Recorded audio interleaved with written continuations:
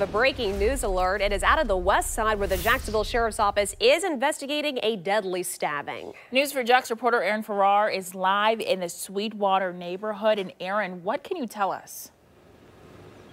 We're on O'Reilly Drive, and JSO says that deadly stabbing happened right outside the house that we're showing you right there where the door is open right now. You see a crime scene unit van is still parked outside of that house as well. That happened around 2.30 this morning. Police say when they got to this house, they found a man stabbed several times out in front of the house, and he was dead at that time.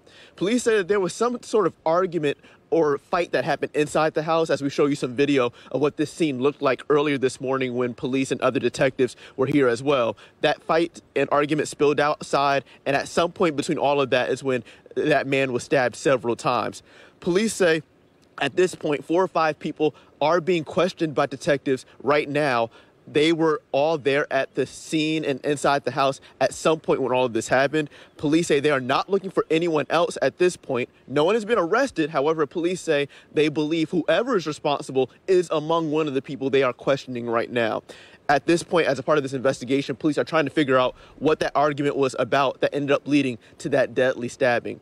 Police also say at this point, this is an isolated situation. So those who live in the Sweetwater neighborhood are not at risk or are not uh, in harm's way at this point. There's no threat to the public as far as this investigation is undergoing at this point. As you learn more information about what happened here at this house on O'Reilly Drive early this morning, we'll be sure to share that with you both on air and online at news4jax.com. Reporting live, I'm Aaron Farrar, Channel 4, the local station.